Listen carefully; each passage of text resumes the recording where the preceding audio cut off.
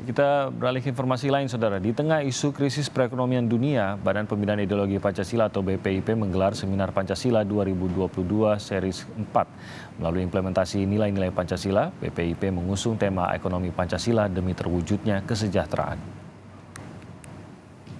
Badan Pembinaan Ideologi Pancasila mengadakan seminar Pancasila di Universitas Katolik Atmajaya Jakarta dengan tema Ekonomi Pancasila demi terwujudnya kesejahteraan.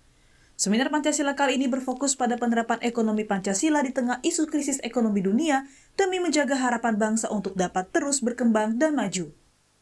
Sehingga dengan kehadiran ekonomi Pancasila itu, bangsa Indonesia ini benar-benar bisa kembali jaya dan ini betul menjadi harapan pertama Presiden Soekarno ketika beliau mengatakan jembatan emas kemerdekaan.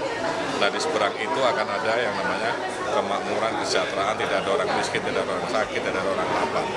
Saya kira kalau tidak dalam proses resesi yang diperkirakan akan terjadi tahun depan, BPIP menghimbau rakyat Indonesia untuk saling berintegrasi melalui adaptasi dan inovasi, sehingga akan terwujud ekonomi Pancasila yang baik sesuai nilai-nilai Pancasila.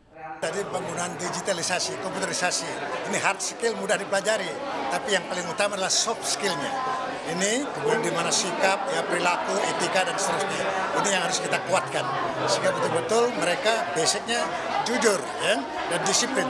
Dengan kejujuran, disiplin, keterbukaan dan hubungan mereka trust antara rakyat dengan pemimpinnya akan lebih kuat sehingga di etika ekonominya betul-betul bisa terwujud.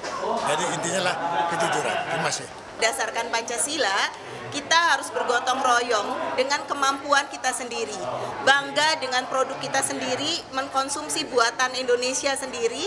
Jadi kita menjadi produsen sekaligus menjadi konsumen. Itu caranya supaya kita mampu bertahan menghadapi berbagai krisis ataupun resesi ekonomi. Jadi mandiri secara ekonomi.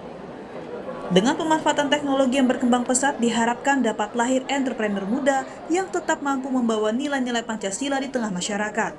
Melalui seminar ini, BPIP berharap rakyat Indonesia tetap optimis untuk ke depannya di tengah ancaman resesi global, serta tetap terwujud ekonomi Pancasila yang baik bagi masyarakat Indonesia. Tim Liputan, Kompas TV.